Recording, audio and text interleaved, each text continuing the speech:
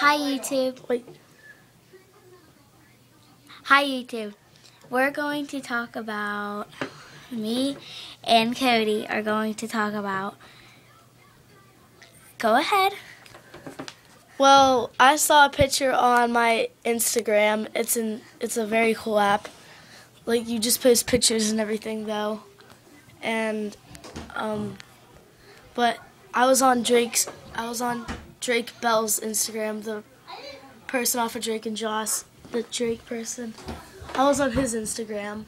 I was just looking through his pictures and I see one it was of Victorious. He just took a picture on his TV. It says I love Victorious, but in the background, like in the screen of the TV, you could see him taking a picture, but it was of him naked. He was just naked.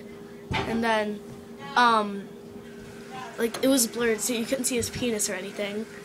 And, um, Alexis, she put on her glasses to look closer, which I thought was pretty funny. And that's the end of this video. I'll post another one probably pretty soon.